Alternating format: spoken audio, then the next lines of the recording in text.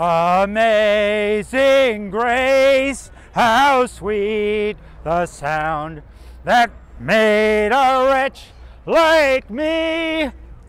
I once was lost, but now I'm found. Was blind, but now I see. Hello. Hello. My name is, wait, I have to check, Father Ben. And I am not a real clown. I do not have a tiny car full of my friends parked on 15th Street. The only kinds of balloon animals I make, uh, see, that's the kind of real clown I am. The only kind of balloon animals I make are a worm and a snake. And uh, I don't think I'm going to be throwing a pie today. Okay, not today. So feel free to try this act at home. Today is Good Friday. This year is 1994. Good Friday falls on April 1st, April Fool's Day. So I am here to be a fool for God. I am here to make a joyful noise. Okay, let's all sing. Rejoice in the Lord always. Again, I say rejoice. Rejoice in the Lord always. Again, I say rejoice. Okay, Catholics, rejoice, rejoice. Again, I say rejoice. Okay, atheists. Okay, that might be annoying some of you, so we're going to stop now. But remember that lyric in case it comes up again.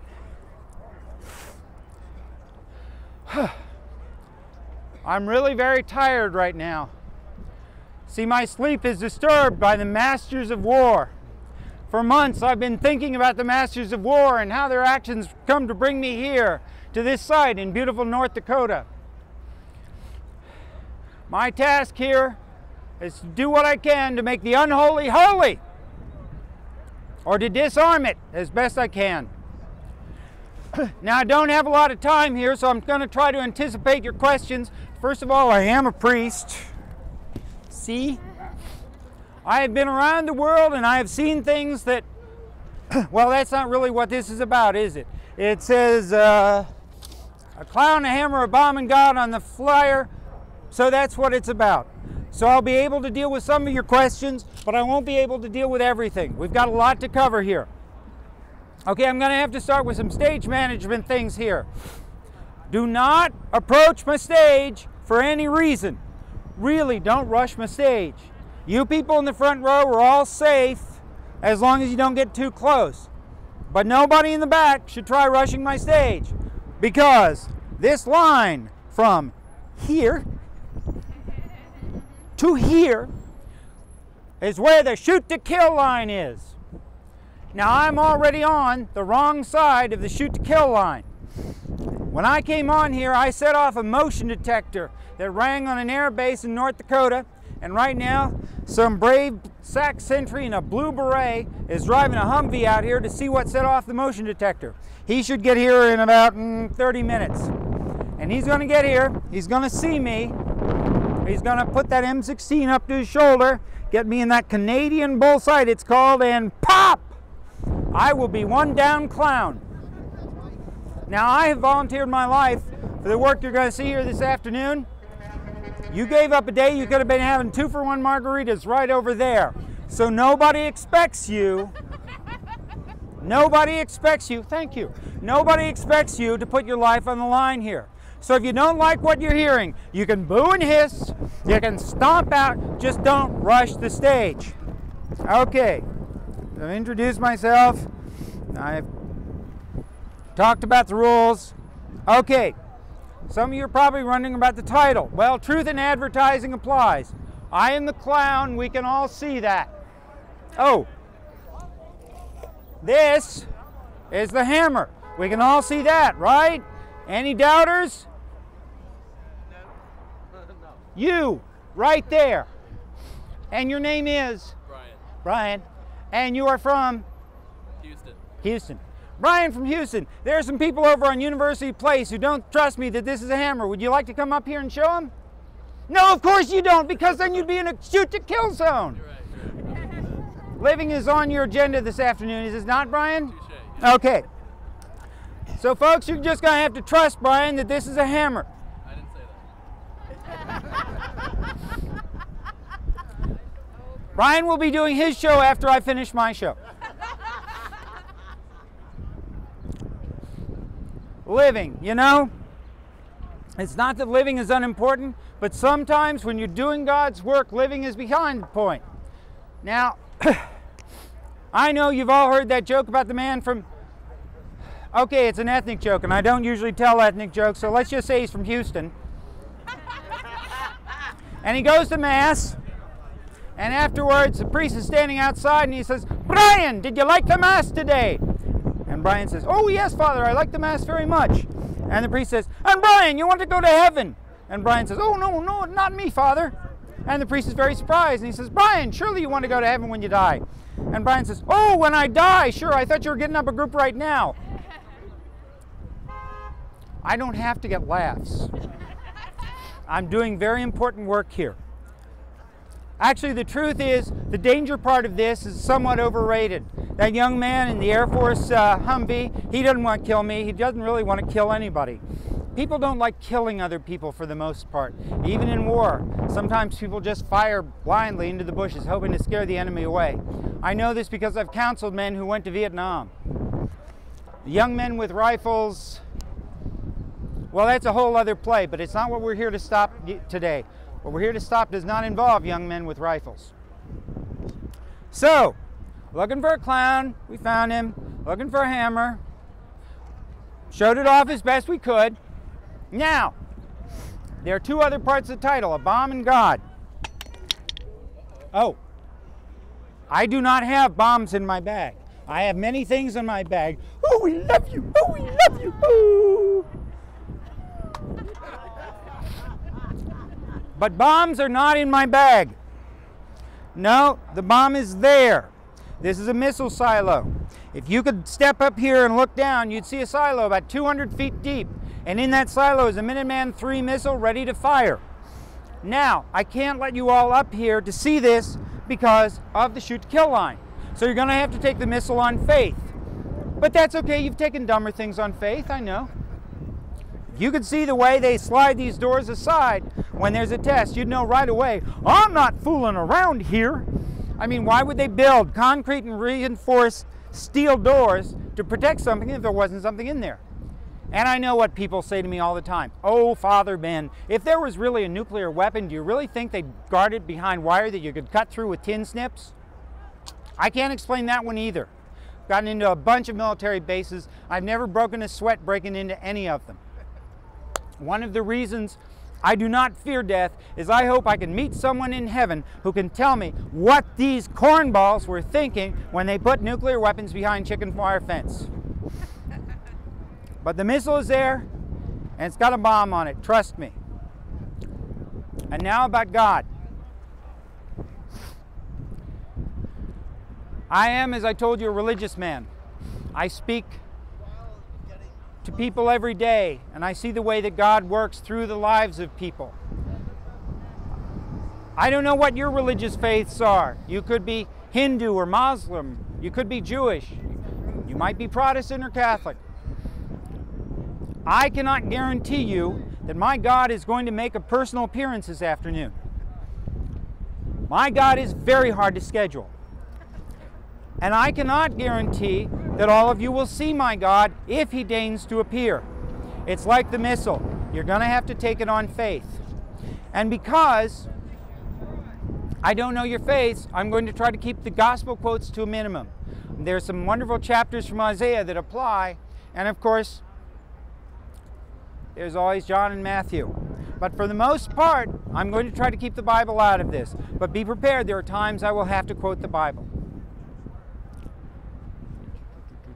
Don't mind me. Okay. The title of this afternoon's work is somewhat misleading. As I said, there's a missile down there, not a bomb. Uh, but it's a missile that carries bombs, so it should be off the hook. Uh, this missile has 30 times the destructive force of the bomb we dropped on Hiroshima, Japan at the end of World War II. That bomb was called, this is audience participation, that bomb was called, that bomb was called, no, no, it had a name, it had a name, uh, fat, fat, white, fat, uh, fat boy George.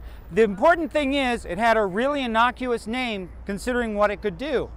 Our friend down there, even though it can do 30 times the damage of fat white boy George, it doesn't have a name. That's right. A missile that can light up the sky like a thousand suns is no longer special enough to have a name. Oh, the Air Force has a designation for it. They call it missile number M29 of the 321st Missile Wing. M29 is a bus, not a bomb. So many years ago, a group of peace activists got together and we decided to name all the missiles. And this missile is named Disarmingly Simple. We wanted to give the missiles all sarcastic names. There are over 200 of them, and they can't all be called the Auschwitz Special. Disarmingly Simple, as I said, carries a 330 kiloton warhead. That's a third of a million tons of TNT. And Disarmingly Simple can carry multiple warheads. That means four or five times 330 kilotons worth of bomb. The Hiroshima blast, which survivors said light up the sky like a thousand suns, carried the force of 12 kilotons. So let's figure here. Let's do the math. 30 times the Hiroshima blast times X equals 1,000 times, uh, carry the two, I before E except after C. Okay, I'm, I'm, I'm very tired. I can't do math right now. My point is, the missile under our feet is carrying destructive power far more extensive than anything that's needed. I'm sure you all saw the headline in the New England Journal of Medicine. Researchers agree the world doesn't need more than one sun at a time. See, one of the events that put me on this path was a trip I took to Hiroshima, Japan many years ago.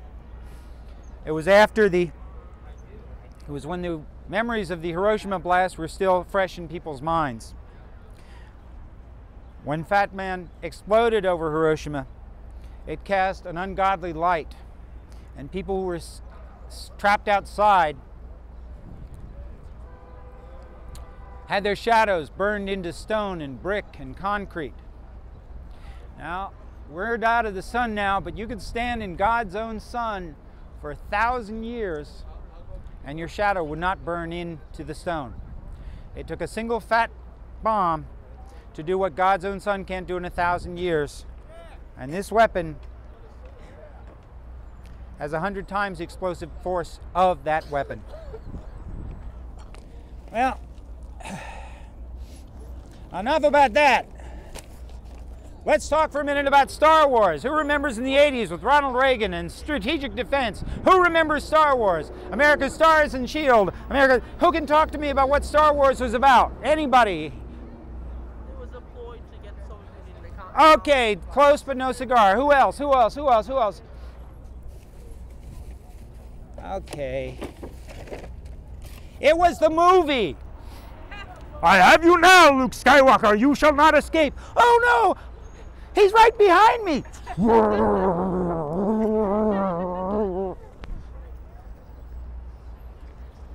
I feel a great disturbance in the force. Somewhere in Hollywood, George Lucas is phoning a lawyer about copyright infringement. Oh well, I'm already in trouble. oh no, he's right behind me. I'm not going to make another made for TV movie.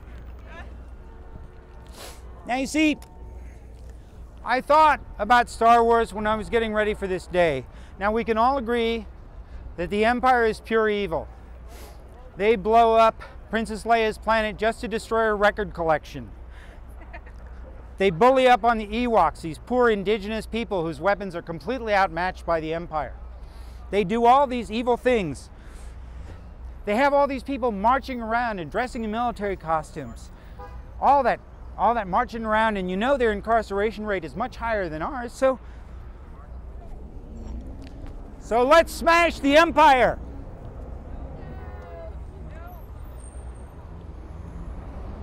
As I said, um, many years ago I counseled men who'd been in Vietnam.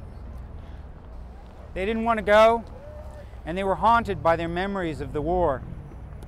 And so many of the young men who went off to the Gulf War didn't go out of any sense of patriotism. They did it because the local GM plant was padlocked.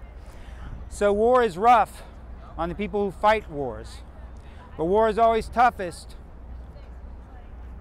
on those who are defenseless, the women and children. And we use movies to talk about the things that we understand. And you know, to a young kid going to Ho Chi Minh City's only movie theater and watching the Star Wars movies, it's so obvious who the evil empire is. And then there's Iraq. Now, if you're living in what was once beautiful downtown Baghdad, and you're lucky enough to run Star Wars on your TV during the three hours a day Baghdad has electricity, you have a whole different perspective on who the evil empire is. So when an Iraqi kid is cheering on Luke Skywalker, he's cheering on the people who are taking on the empire. And that would be the people who blew up his house. See, the children are also in my nightmares because in Iraq and Vietnam and North Korea and all over the world, they're going hungry. Children were going hungry in Vietnam long after the American troops left, and people are going hungry constantly in all kinds of war torn places because in every country in the world, the masters of war get to sit down first at the dinner table. If you're a child, you eat last. That's true from Moscow to Mobile, Alabama. Maybe I was called on to be a clown today for the children of the world. Maybe even children who are hungry would find a clown funny on Good Friday. Now I know some of you feel Iraq is evil. Some of you, a lot of Iraqis feel that Iraq was evil. And I'm not here to defend the government of Iraq, and I'm certainly not here to defend my own government. But you know, Iraq probably wasn't that bad a place for some people to live before the war. And you know, that's the other problem with the Star Wars movies. It's all very dark and dour. There had to be one guy at least who said, Holy crap, they're going to build a Death Star. Don't worry, it's just a stage he's going through.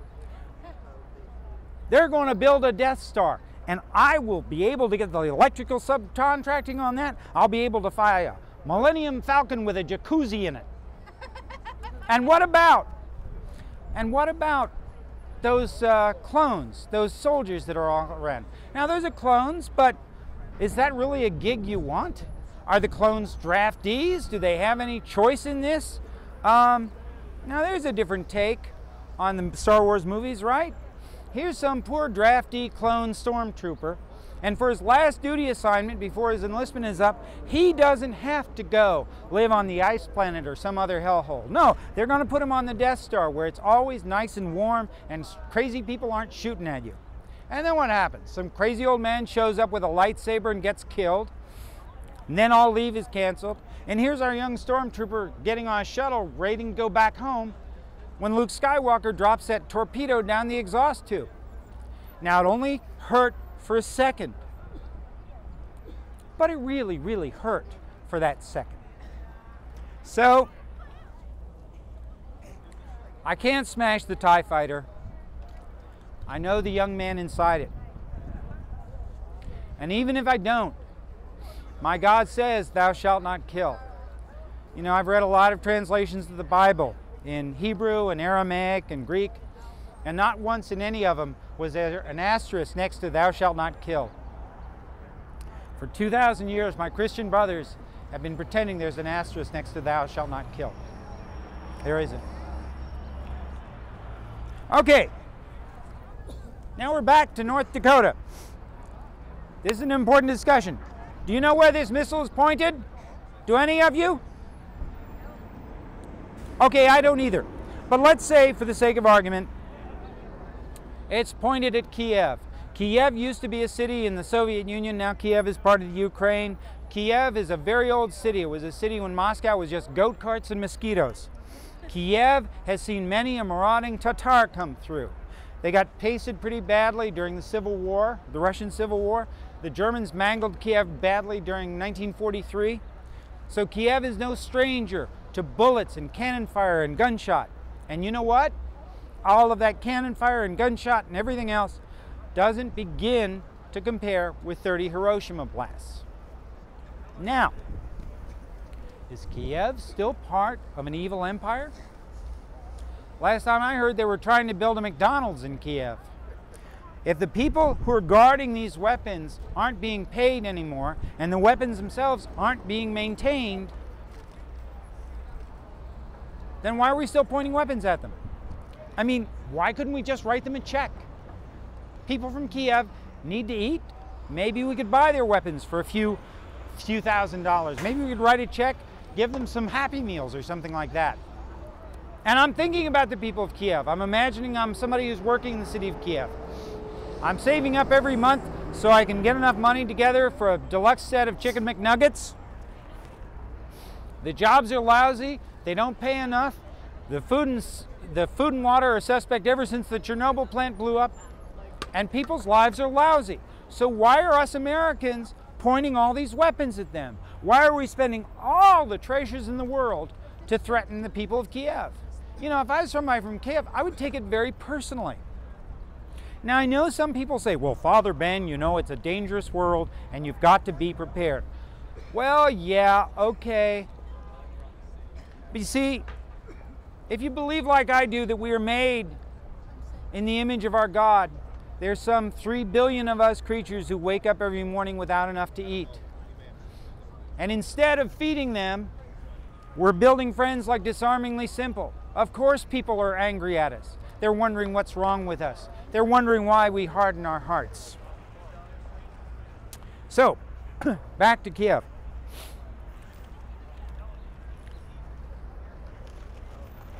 You know, it's hell when you go off on your lines. So, here's our missile in Kiev. This is pointed at Kiev, the city of Kiev, and now the really scary part is that if it ever left its happy home in this silo, it would get to Kiev unscathed because of Ronald Reagan's Navstar.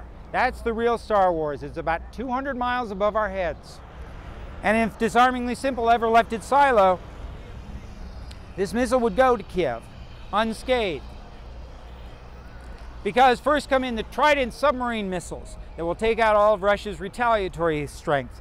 And then come all those submarine launched ballistic missiles and the missiles from the cruise missiles.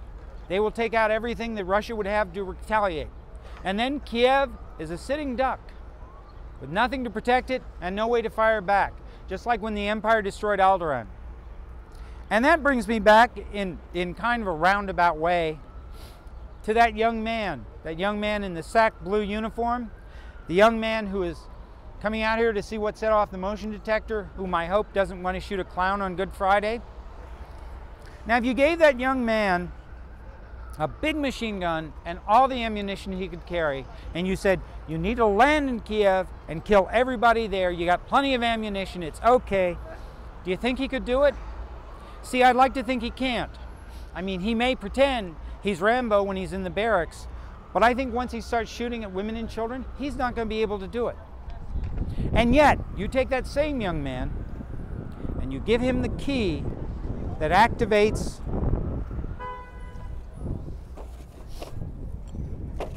I love live theater, don't you? Indeed. And you give him the key that launches those missiles and you tell him to turn the key, he will do it a hundred times out of a hundred. It's called training, it's called conditioning. A young man who could never kill women and children with a machine gun will be the cog in the machine that kills tens of millions of women and children. And that's what's frightening me. That's why I'm thinking about Kiev.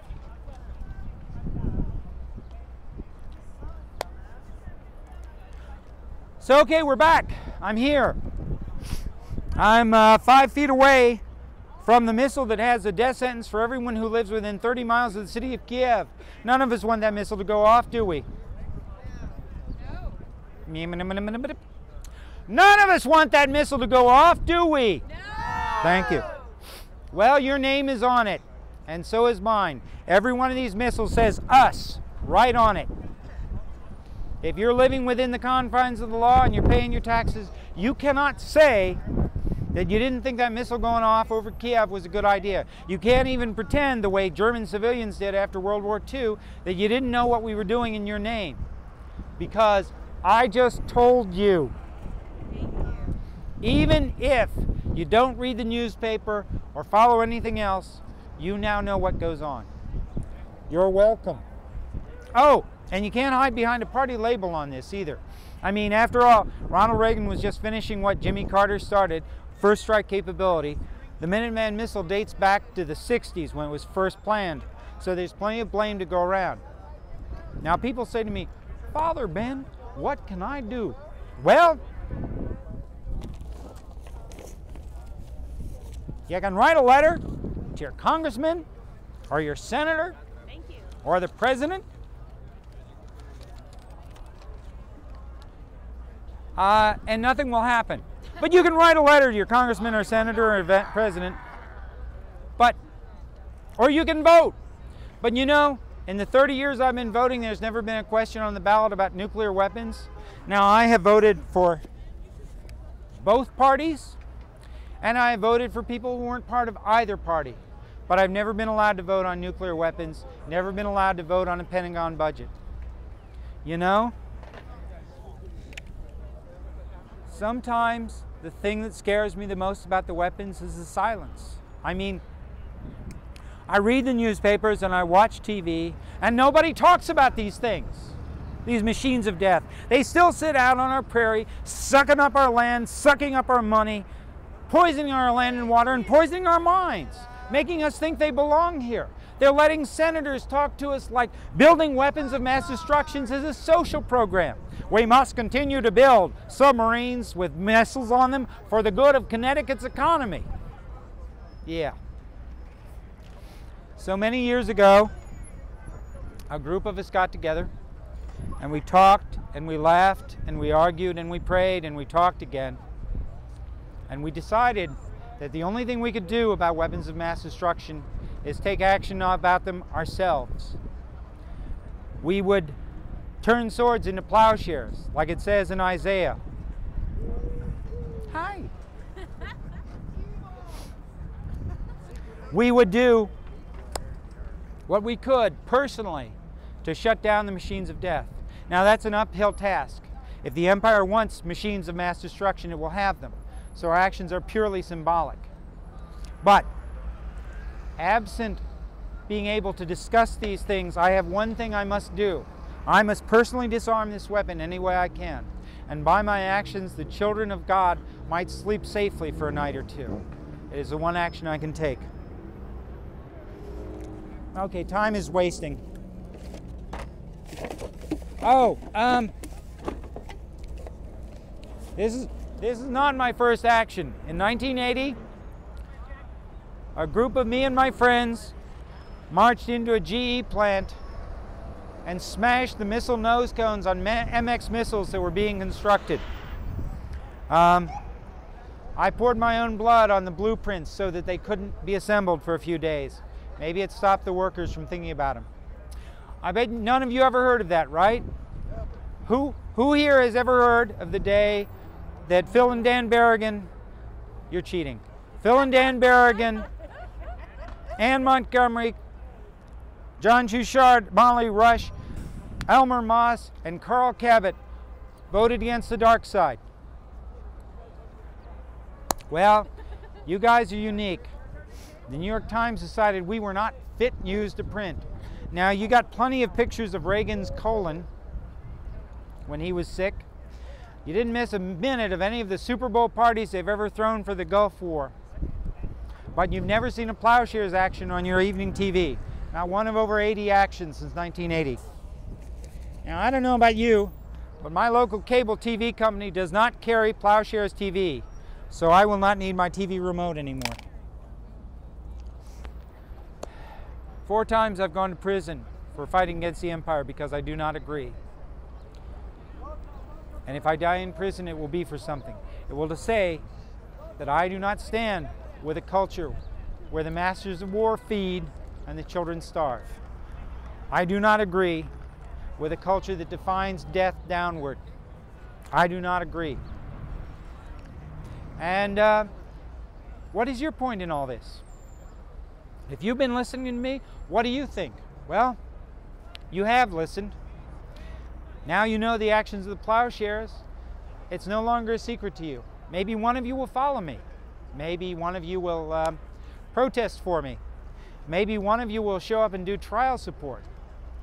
Better yet, maybe one of you will sit on my jury and vote with your conscience. Because the day I am tried for what I do and acquitted is the day the world will change. Time is wasting. Okay, first, it is time to pack these things better. It is time to get some plant action going here. These are mustard seeds. Jesus talked about the mustard seed. He said mustard seeds were an example of faith because they grew from the tiniest of seeds to a tree that the birds could nest in. If, uh, if we all had the faith of the mustard seed, perhaps we could move mountains. So mustard seeds would be very good to have around here. Of course, some of those mustard seeds will fall on dry land, so they might not grow. Jesus warned us about that. These mustard seeds, however, will take off. Everyone in the first row duck. Anybody remember the old Mary Tyler Moore show, Chuckles the Clown? Okay, well, to quote Chuckles, it, it's old, I know. But to, ch- to quote Chuckles, a little song, a little dance, a little seltzer in your pants for the plants while I dance. Yeah, nobody finds it funny. Okay, um,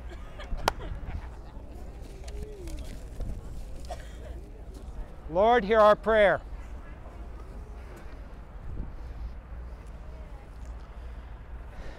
The Lord is my light and my salvation. Whom shall I fear?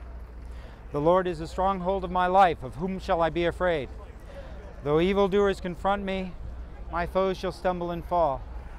Now I am lifted up above my enemies' heads. I shall sing and make music in the house of the Lord forever. Oh, don't worry. This is mine, and I've been tested.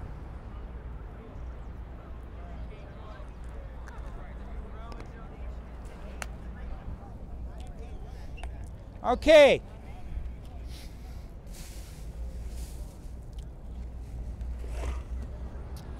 Now here's a handy little tool for around the house. It's not a dicer, it's not a slicer, it's not a Cuisinart. It slices it, dices it, juliennes. It makes things right that cannot be made right any other way. It is the hammer of peace. And don't y'all want to know how it works? Yeah. Well, thank you. Thank you very much. Want to stop the empire? Empire stopped. God says no one shall study war. This is for George Lucas for teaching his militarism instead of peace. This is for George Lucas for acting like might will settle everything. This is for Star Wars Episode 1.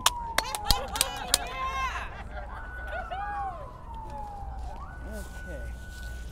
All right. Ah! Jelly anyone? Jelly everyone!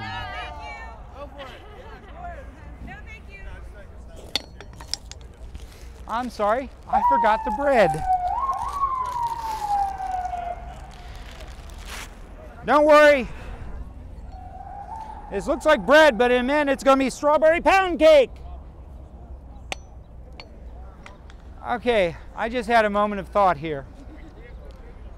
I don't like the, the idea of destroying perfectly good bread on Good Friday.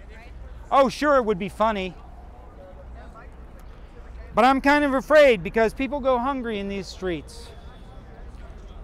Brian, I made fun of you before. I don't even know you. I'm sorry. My apologies to you.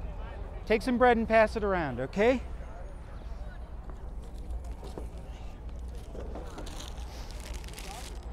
This is bread for everyone.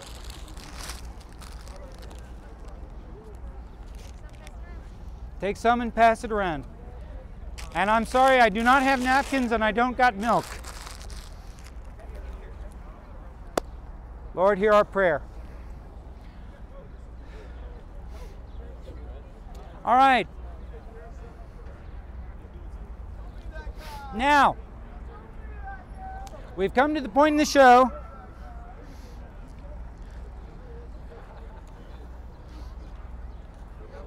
Dude, you should check the check the expiration date on that dude. Seriously. Been doing this show for 10 years. Don't make a mistake. Now, we come to the point where I commit a felony.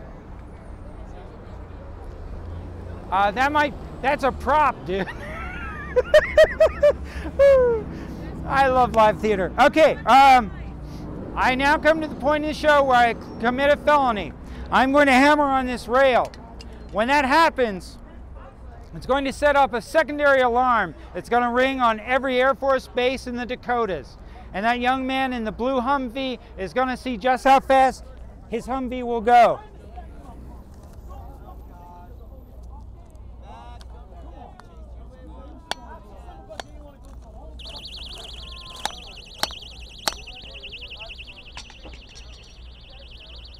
Oh yeah, it sets off an alarm too. I should have warned you about that. Well, you've been a lovely audience. I will be doing this show again in about three months in federal court. Please drop by and say hello. And now, everybody, don't rush the stage. When we've been there 10,000 years bright shining as the sun. We've no less days to sing God's praise than when we first begun.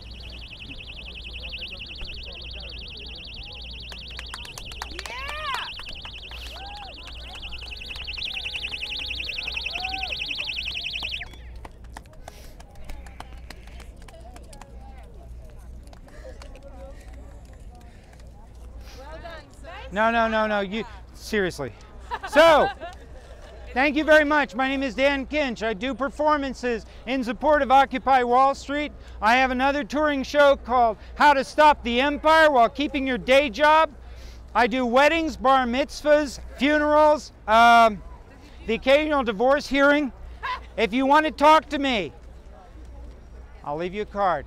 We will be doing a show in April over in Brooklyn at the Dutch Reformed Church. We will be doing a new play of mine called A Good Day to Pie, which is about Monsanto and genetically altered food. Thank you.